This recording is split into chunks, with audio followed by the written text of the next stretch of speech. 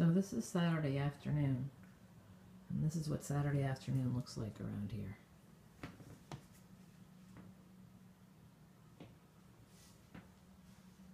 Yeah, we're working hard all right in this house, eh, girls? Keeping the couches occupied.